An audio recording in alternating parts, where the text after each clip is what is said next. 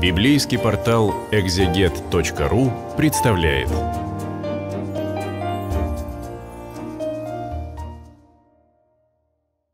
Библейский портал экзегет.ру представляет цикл бесед о книге «Бытия». Сегодня мы с вами читаем 41 главу.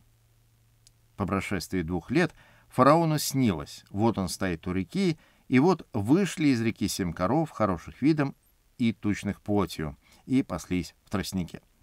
По прошествии двух лет Иосиф сидит в темнице все это время, то есть он продолжает там в темнице э, пребывать еще два года. И мы могли бы э, предположить, что он там заворчал, потому что э, человек сидит абсолютно безвинно в темнице, он оказал услугу своему товарищу-узнику, узник вышел, про него забыл, все кажется против него.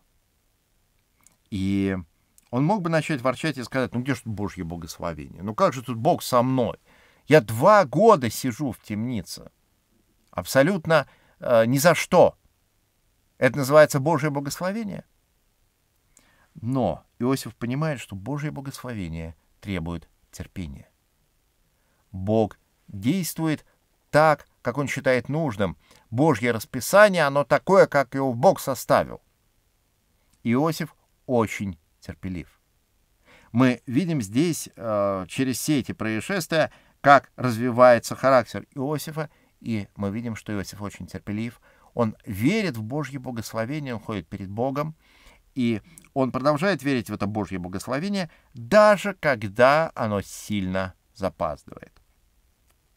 И вот фараон по прошествии этих двух лет видит сон, он видит, как вышли из реки семь коров, хороших видом и тучных плотью, а, жирных, то есть, и паслись в тростнике. Но вот после них вышли из реки семь коров других, худых видом и тощих плотью, и стали подле тех коров на берегу реки. И съели коровы худые видом и тощие плотью семь коров хороших видом и тучных. И проснулся фараон и заснул опять. И снилось ему в другой раз. Вот на одном стебле поднялось семь колосьев, тучных и хороших. Но вот после них выросло семь колосьев, тощих и сушеных восточным ветром.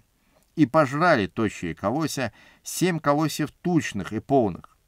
И проснулся фараон и понял, что это сон. Утром смутился дух его, и послал он, и призвал всех волхвов Египта и всех мудрецов его, и рассказал им фараон сон свой — но не было никого, кто истолковал бы его фараону. Фараон видит какой-то загадочный сон, и он созывает людей, которые могли бы его истолковать, ни у кого не получается. И стал говорить главный виночерпий фараону и сказал, «Грехи мои вспоминаю я ныне. Фараон прогневался на рабов своих и отдал меня и главного хлебодара под стражу в дом начальника телохранителей. И снился нам сон в одну ночь, мне и ему, каждому снился сон особенного значения. Там был с нами молодой еврей, раб начальника телохранителей. Мы рассказали ему сны наши, и он истолковал нам каждому соответственно с его сновидением. И как он истолковал нам, так и сбылось. Я возвращен на место мое, а тот повешен. И послал фараон и позвал Иосифа и поспешно вывели его из темницы. Он остригся и, переменив одежду свою, пришел к фараону. Фараон сказал Иосифу, «Мне снился сон, и нет никого, кто бы истолковал его, а о тебе я слышал, что ты умеешь толковать сны». И вот происходит внезапный поворот сюжета. Иосифа вызывают во дворец фараона.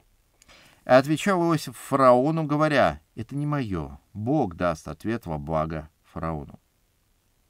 И в этой ситуации Иосиф вместо того, чтобы хвалиться, вместо того, чтобы набивать себе цену, я могучий маг и экстрасенс, нет, он вместо этого говорит, Бог даст ответ во благо фараону.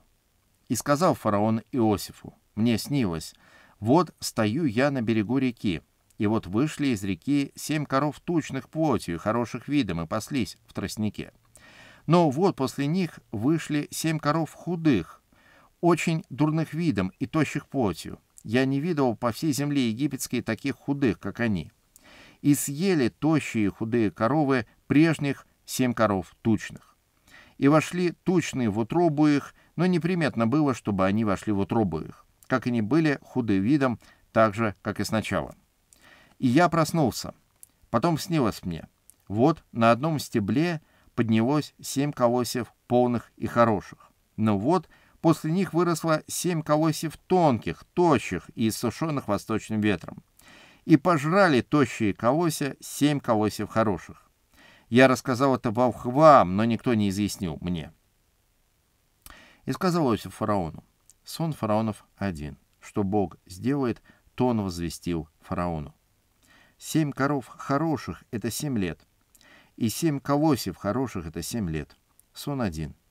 И семь коров тощих и худых, вышедших после тех, это семь лет, также и семь колосьев, тощих и иссушенных восточным ветром, это семь лет голода. Вот почему я сказал фараону, что Бог сделает, то он показал фараону. Вот наступая семь лет великого изобилия по всей земле египетской. После них настанут семь лет голода, и забудется все то изобилие в земле египетской, и истощит голод землю. И неприметно будет прежнее изобилие на земле по причине голода, который последует, ибо он будет очень тяжел. А что сон повторился фараону дважды, это значит, что сие истина Слово Божие, и вскоре Бог исполнит сие. И ныне да усмотрит фараон мужа разумного и мудрого, и да поставит его над землей египетской. Да повелит фараон поставить над землей надзирателей и собирать в семь лет изобилия пятую часть всех произведений земли египетской. Пусть они берут всякий хлеб этих наступающих хороших годов и соберут в городах хлеб под ведением фараона в пищу, и пусть берегут. И будет сия пища в запас для земли на семь лет голода, которые будут в земле египетской, дабы земля не погибла от голода. Сие понравилось фараону и всем слугам его. И сказал фараон слугам своим, найдем ли мы такого, как он, человека, в котором был бы дух Божий. Иосиф истолковывает этот э, сон, и он объясняет, что будет сначала 7 лет изобилия, и в годы изобилия люди обычно не думают о будущем. Они думают, что так хорошо будет всегда. Будет все отлично, и дальше будет только лучше. Но после семи лет изобилия наступит 7 лет голода. И Иосиф говорит фараону, что он должен принять меры.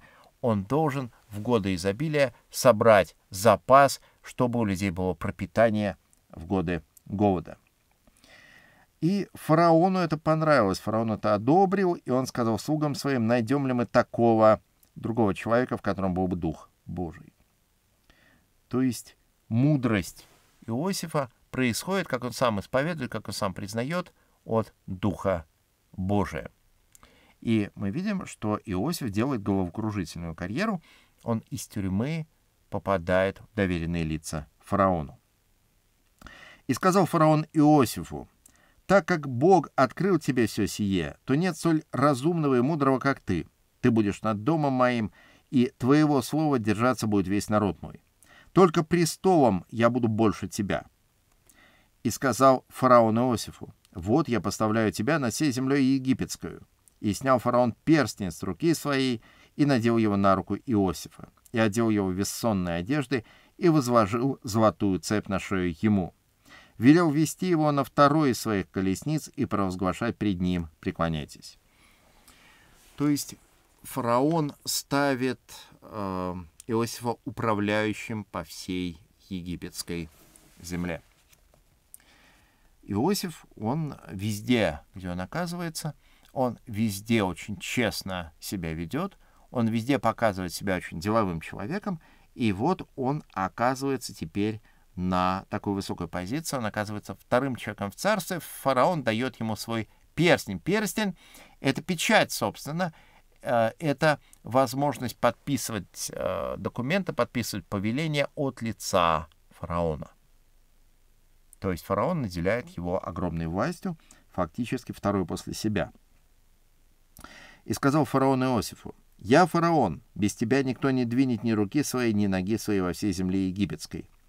И нарек фараон Иосифу имя Цафнах Паниах, и дал ему жену Осинефу, дочь Патифера, жреца Илеопольского.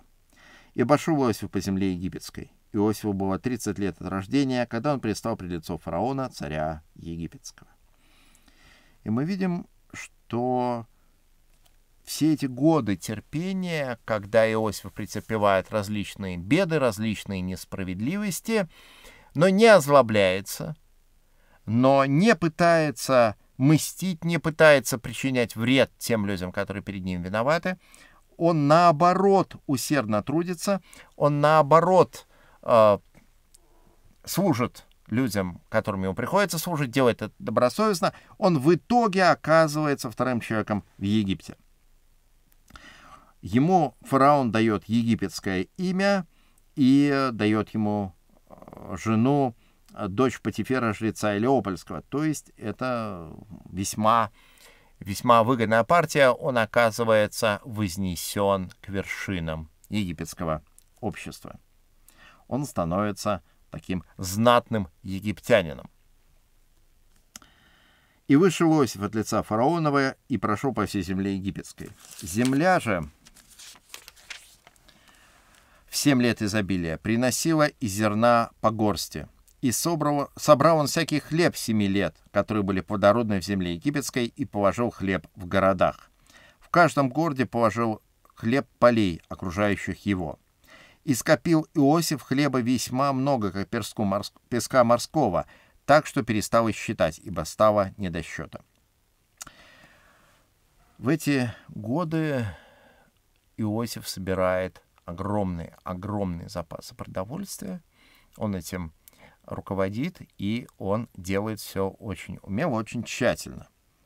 До наступления годов голода у Иосифа родились два сына — которых родила ему Осинефа, дочь Патифера, жреца Илеопольского. И нарек Иосиф имя первенцу, Манассия, потому что, говорил он, «Бог дал мне забыть все несчастья мои и весь дом отца моего». А другому нарек имя Ефрем, потому что, говорил он, «Бог сделал меня подавитым в земле страданий моего». И прошли семь лет изобилия, которое было в земле египетской. И наступили семь лет голода, как сказал Иосиф. И был голод во всех землях, по всей земле египетской. Был хлеб. То есть везде голод, и только в Египте был хлеб, потому что Иосиф позаботился о запасах. Но когда и вся земля египетская начала терпеть голод, то народ начал вопиять к фараону о хлебе. И сказал фараон всем египтянам, «Пойдите к Иосифу и делайте, что он вам скажет». И был голод по всей земле. И отворил Иосиф все житницы и стал продавать хлеб египтянам. Голод же усиливался в земле египетской. И из всех стран приходили в Египет покупать хлеб у Иосифа, ибо голод усилился по всей земле. Вот наступают эти семь лет бедствия, и а, приходит время, когда Иосиф начинает уже а, распродавать те запасы продовольствия, которые он сделал в благоприятные годы. Мы с вами прочитали 41 главу книги «Бытия». Мы читаем Писание в рамках библейского портала «Экзегет.ру».